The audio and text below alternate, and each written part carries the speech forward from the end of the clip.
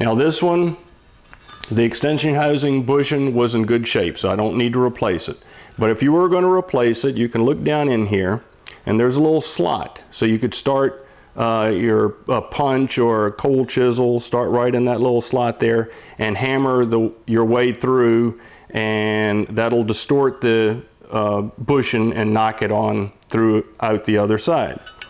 And then just simply take your new bushing. Uh, many of them will have a little slot in it, and that slot should line up with that uh, little low place or that void that's at, oh, about, I'll say the seven o'clock position on the extension housing. If you have a regular bushing driver, uh, you know, just hammer it down flush. Or if you have one of those universal ones, that'll work fine. After you hammer it down, uh, a lot of times the edge will kind of get burred a little bit. So you'll need a round file to clean that up or a pocket knife.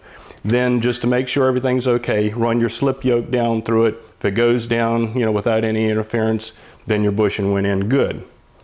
And lastly, we'll put the uh, seal on. Now, as a little tip, I think it's a good idea to put uh, uh, a little bit of, you can use wheel bearing grease, I use uh, petroleum jelly, down inside the seal where that garter spring is. Because a lot of times when you're hammering you know, the seals on, all that vibration will knock that uh, little garter spring out.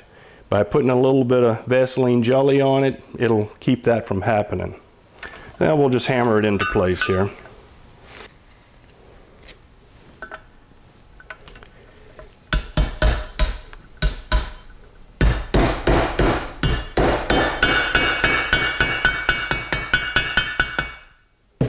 There you go.